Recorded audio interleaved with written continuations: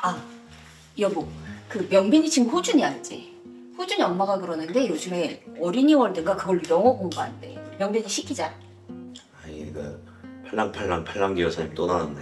그래봤자 그거 뭐 TV로 하는 거 아니야? 그걸로 무슨 영어 공부를 해? 됐어. 그리고 우리 BTV 그 약점 많이 남아가지고 위약금 나와요. 안 돼요. 아, 위약금 얼마나 한다고. 아니, 명빈이는 영유도 안 보냈잖아. 얘들 막 몇백씩 내고 다니는데. 아이, 호준이 만나는데 나이스쯤을 주막 이래. 영어 장난 잘해. 아니, 그러면 은 자기처럼 바보 만들 거야? 영어 한마디도 못하고 커가지고 어떡해.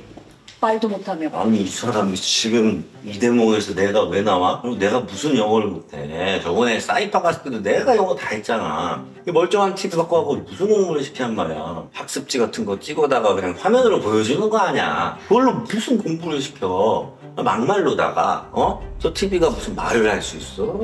뭘 할 수 있어? 아니, TV니까 말을 못하지. 아유, 그러니까 들어보세요. 영어란 오름지기 이 대화를 하면서 실력이 느는 거고 프리토킹. 어? 화면만 보면서 이게 실력이 되면 대한민국 사람들이 다 영어 잘하겠다. 다른 애들은 다 공부한대. 그럼 어떡해. 말도 안 되는데 무슨 TV로 영어 공부를 한다고 그래. 그게 말이 돼? 말 됩니다.